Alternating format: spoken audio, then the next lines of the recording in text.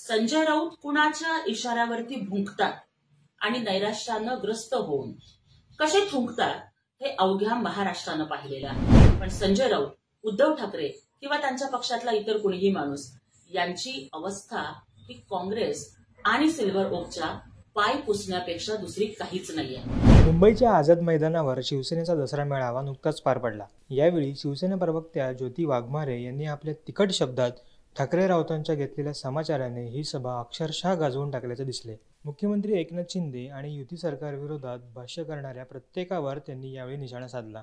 त्यातच त्यांनी आता पुन्हा एकदा संजय राऊतांना टार्गेट करत त्यांची कान उघडणी केल्याचं पाहायला मिळते संजय राऊत यांनी आपल्या एका पत्रकार परिषदेत मुख्यमंत्री आणि उपमुख्यमंत्री यांचा दिल्ली दौऱ्यावर निशाणा साधत त्यावर टीका केली होती. त्याला आता ज्योती वाघमारे यांनी चोख प्रत्युत्तर दिले त्या नेमकं काय म्हणालेत पहा संपूर्ण व्हिडिओ. दुसऱ्यांवर टीका करण्याच्या आधी संजय राऊतनी स्वतःच्या गळ्यातला सिल्वर ओकचा पट्टा बाजूला काढून ठेवावा. संजय राऊत कुणाच्या इशाऱ्यावरती भुंकतात आणि नैराश्यानं ग्रस्त होऊन कसे थुंकतात हे अवघ्या महाराष्ट्रानं पाहिलेलं आहे. संजय राऊतांना खरं तर नैराश्याने ग्रासलेलं आहे. कारण पदही गेलं आणि पतही गेली. गाढव सुद्धा गेलं आणि ब्रह्मचर्यही गेलं अशी त्यांची आणि त्यांच्या पक्षाची अवस्था झालेली आहे.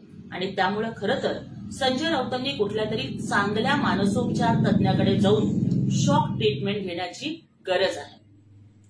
संजय राऊतांना कदाचित हे माहिती नसावं की भारतीय संविधानाच्या नुसार भारत हे एक संघराज्य आहे. आणि जेव्हा सन्माननीय मुख्यमंत्री किंवा उपमुख्यमंत्री हे पंतप्रधानांच्याकडे जातात त्यांच्याशी चर्चा करतात तर ते आपल्या राज्याच्या विकासाच्यासाठी आवश्यक असतं.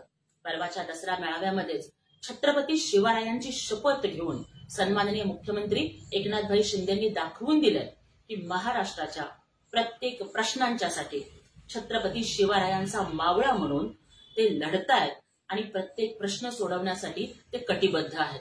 पण संजय राऊत उद्धव ठाकरे किंवा त्यांच्या पक्षातला इतर कुणीही माणूस यांची अवस्था ही काँग्रेस आणि सिल्व्हर ओकच्या पाय पुसण्यापेक्षा दुसरी काहीच नाहीये. त्यामुळे त्यांनी आम्हाला अजिबात शिकवू नये.